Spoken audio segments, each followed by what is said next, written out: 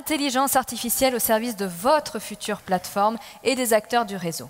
L'AI, l'évocation de ces deux lettres, peut parfois faire peur et oui, et paraître très abstrait, mais grâce à Marie Musolon, consultante intelligence artificielle, et à Pascal Beaune, consultant associé chez Tribe IT Partners, tout cela va vous paraître limpide, beaucoup plus concret, et vous allez tout de suite comprendre les bénéfices pour votre quotidien et votre réseau. Je vous demande de les applaudir.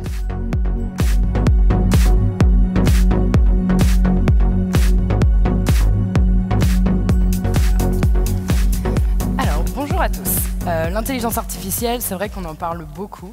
Alors qu'est-ce qu'on va pouvoir vous présenter? On va essayer de vous présenter la plateforme autonome, tout bêtement. La plateforme autonome Complètement autonome? Comme la voiture autonome?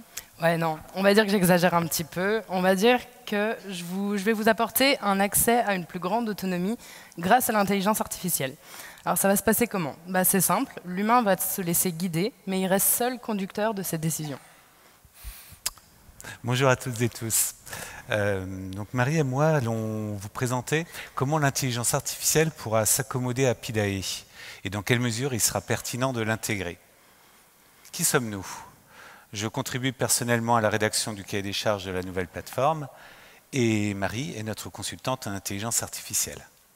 Alors, l'intelligence artificielle, c'est vraiment un défi du quotidien. On le voit dans nos smartphones, que ce soit aussi au sein des services clients, avec l'utilisation de chatbots, ou même actuellement dans la médecine. Et nous, ce qu'on veut, c'est que ça soit votre réalité de demain, pour vous, les acteurs d'Apidae. Alors, la, plateforme, euh, la plateforme actuelle permet de mutualiser la donnée. Euh, cela se passe par de la création de nouvelles fiches, développement de nouvelles offres, euh, la création d'événements. Et hum, tout, cela donc euh, contribue à enrichir la donnée euh, de manière partagée. Mais combien de temps est consacré réellement à la production de la donnée? Combien de temps peut-il vraiment donner lieu à l'exploitation de la donnée? Et au-delà de cela, quelles seraient les possibilités d'encore mieux exploiter ces données? Alors, l'intérêt d'apporter euh, de l'intelligence artificielle dans euh, la future plateforme Apidae, c'est réellement d'inverser le temps, euh, le, ratio temps passé à produire la donnée et temps passé à l'exploiter. alors, comment ça va pouvoir se faire? L'intégration de l'intelligence artificielle va permettre de déclencher des catalyseurs assez différents. que ce soit donc la réduction du temps de production, l'amélioration de la qualité des offres, l'amélioration aussi du, confort de production et donner une nouvelle vision de la donnée. Alors, si on rentre un petit peu plus dans les, dans les détails, euh, on a dit que ça allait euh, pouvoir permettre de réduire le temps de production. Alors, comment ça va pouvoir se faire? Euh, C'est simple, en appuyant tous les acteurs du réseau dans leur conception d'offres et en effectuant des travaux à leur place. comment ça va pouvoir on peut juste régler un petit souci peut-être de, télécommande où j'arrive pas à être en, lien avec le slide. Ok, merci. Alors, donc, le deuxième point, c'est vraiment d'améliorer la, qualité des offres en, permettant donc, de donner des, des, données analytiques supplémentaires et de suggérer des complétions par rapport à des offres qui existent déjà. Le troisième point, c'est améliorer le confort de production donc pour les rédacteurs des offres euh, c'est euh, leur permettre de se concentrer vraiment sur le contenu propre de leur offre et ne plus s'occuper de ce qu'on va appeler euh, l'emballage au sein de la plateforme.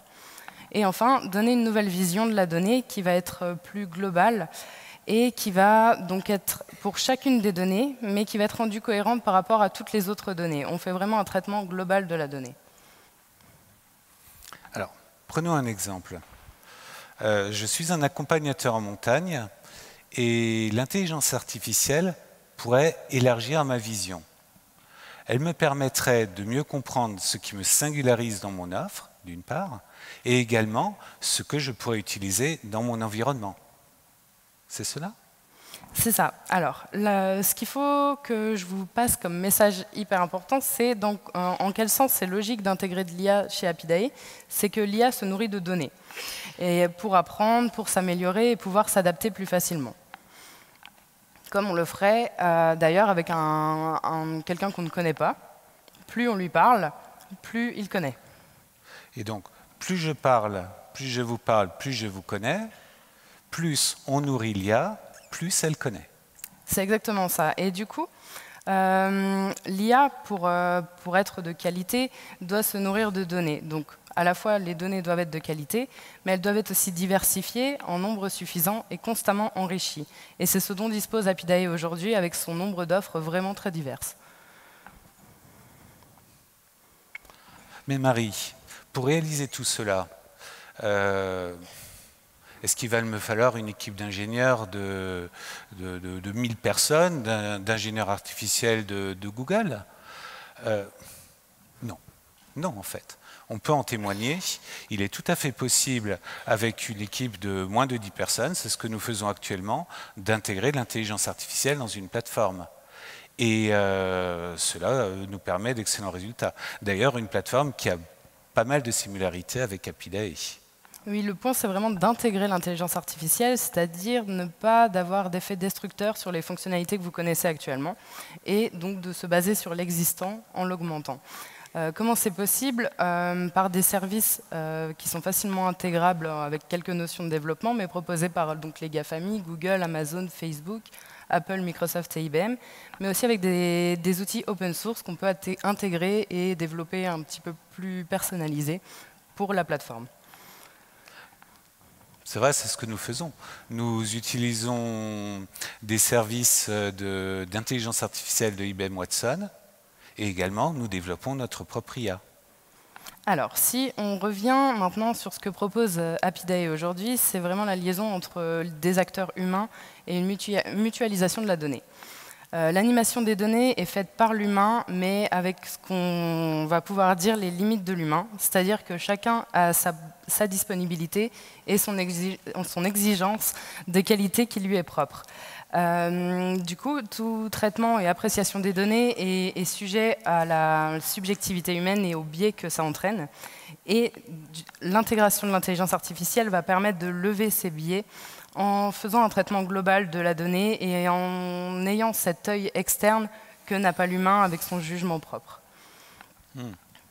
Alors, l'intelligence artificielle va intervenir dans le quotidien de l'humain et elle va intervenir dans le quotidien de la mutualisation des données. Mais qu'est-ce que cette injection d'intelligence artificielle va changer? Est-ce qu'il va y avoir de nouvelles interactions? Alors les nouvelles interactions, ça va être une interaction à la fois entre l'intelligence artificielle et l'humain, mais aussi entre l'intelligence artificielle et la donnée. Alors si on revient sur le premier, hum, l'interaction entre l'intelligence artificielle et l'humain va permettre donc d'alléger tout ce qui est tâches fastidieuses et donc de gagner du temps, et aussi d'obtenir des analyses euh, fournies par l'IA. L'humain, lui, il va solliciter l'IA et va permettre de, de se corriger, d'apprendre plus en l'interrogeant, et donc de s'améliorer. Si on passe maintenant donc à la deuxième interaction entre l'intelligence artificielle et les données, l'intelligence artificielle, elle, va être un, outil d'aide à la décision et de traitement des données qui est plus capable que le cerveau humain puisqu'il peut traiter massivement et de manière globale. Euh, les données, elles, vont être du coup la matière première à, l'enrichissement de l'intelligence artificielle. Alors maintenant, si on imagine l'interaction au centre de tout ça, les données vont être euh, pleinement actives à la fois de l'enrichissement de l'IA et vont être euh, utilisées de manière augmentée grâce à l'IA pour les acteurs Apidae. Je comprends. L'intelligence artificielle va donc venir supporter l'ensemble des acteurs du réseau Apidae. Et cette même intelligence artificielle, elle va démultiplier la puissance des fonctionnalités de la plateforme. Oh, je ferme les yeux un instant. Comment est-ce que je peux représenter la plateforme Apidae de demain? Alors, les fonctionnalités vont réellement être augmentées. On va imaginer plusieurs, euh, cas pratiques. Euh, imaginez, vous créez une offre et euh, pensez au temps que vous passez à vous dire euh, je vais la placer dans tel type d'objet ou dans un autre, à se dire si je la place dans la catégorie là, alors elle sera mieux trouvée dans les recherches. Si vous oubliez ce temps passé, si l'IA vous aidait dans ce sens-là et qu'elle catégorisait à votre place. Oh, je me sens beaucoup plus relax. C'est génial ça. Une autre possibilité? Alors imaginez maintenant, vous êtes utilisateur de la plateforme et vous voulez faire des recherches selon vos envies, que ça soit manger une glace au bord d'un lac, aller faire un, running de 20 km en montagne, peu importe, ou selon ce que vous êtes. Je suis un jeune de 25 ans, je ne sais pas quoi faire chez mamie ce week-end, qu'est-ce que je peux faire? Eh bien, la détection des intentions en langage naturel va vous aider dans ce sens-là. J'adore ce moment de l'exemple. Je récapitule. Je suis en train de conduire mon véhicule ou mon vélo, et saisi d'une petite faim, j'interroge. J'ai un petit creux, je voudrais trouver un restaurant sympa à proximité. Ça va être possible? Techniquement, c'est possible, et ça va vous permettre vraiment d'interroger les données en toute mobilité. C'est génial. Alors, si on continue un petit peu, si vous voulez euh, promouvoir votre offre, imaginez qu'on vous fournisse un taux de positivité de ce qu'elle évoque. Est-ce que vous ne seriez pas tenté de la modifier pour améliorer ce taux au maximum un, un indicateur de taux d'attractivité de mon offre qui me permet donc de mieux comprendre la qualité de mon offre, de la retravailler et de regarder si finalement la qualité de mon offre augmente et elle est d'autant plus attractive. C'est excellent. Et allons encore même plus loin pour les animateurs euh, Apidae. Si on imagine qu'on vous fournisse des informations clés pour aller chercher des acteurs manquants autour d'une offre. Qu'on se dise, euh, d'accord, ici, dans des régions similaires, euh, il se passe ce genre de choses et qu'on vous les indique à vous pour aller chercher vous-même ces acteurs et augmenter le, nombre de personnes dans la plateforme. Cela me permettrait donc d'identifier de nouveaux acteurs dans mon environnement qui, en me rejoignant ou moi m'associant à eux, nous permettrait d'enrichir la valeur de notre offre. Ça, c'est parfait. C'est vraiment parfait. Euh, Marie, j'ai quand même une question. Tout ça, moi, ça me séduit. Mais c'est possible quand? Dans 8-10 ans? C'est dès maintenant, puisque la matière première est déjà présente dans la plateforme. On a toutes les données nécessaires pour faire de l'intelligence artificielle. Et euh, finalement, l'intelligence artificielle va naître de vos besoins réels. Une fois identifiés, c'est en ce sens-là que l'intelligence artificielle va se développer et cibler vraiment vos besoins. Très bien. Merci Marie. Merci.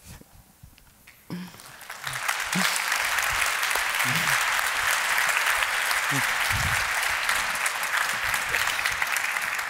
beaucoup Marie Muselon et Pascal Bonne pour euh, cette euh, présentation très concrète et très illustrée. Et on a déjà des questions. Alors, que faut-il pour avoir une AI performante en termes de qualité, quantité et homogénéité qui veut se lancer? Alors, euh, pour avoir une intelligence artificielle performante, alors on va dire en termes de qualité déjà, en termes de qualité, il faut vraiment un certain nombre de données qui soient donc en nombre suffisant, assez diversifié et euh, représentatif. C'est-à-dire qu'on ne veut pas, si on sépare les, données en deux catégories, on ne veut pas un gros groupe et un tout petit groupe représenté. Il faut que ça soit vraiment très homogène pour qu'elle puisse calculer sur l'ensemble des données. Euh, alors après la suite de la question, je ne sais plus. Est-ce qu'on peut nous remettre la question, si vous voulez, parce qu'elle était longue Elle arrive. Qualité, quantité, homogénéité, vous venez de répondre. Oui, alors en termes de. Enfin, pour avoir une IA en quantité, c'est un peu étrange euh, comme question. Mais euh, non, ce qu'il faut, c'est vraiment euh, donner accès à un, traitement de, bah, de, la big data, finalement, pour traiter le plus rapidement les données entrantes et que l'IA puisse répondre en conséquence. Et tout ça nous offrira une AI de qualité. C'est ça.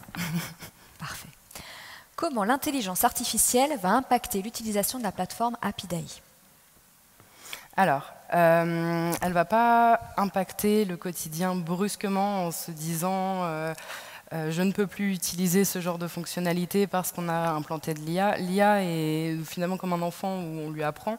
Elle a besoin de temps, donc on a besoin de la solliciter.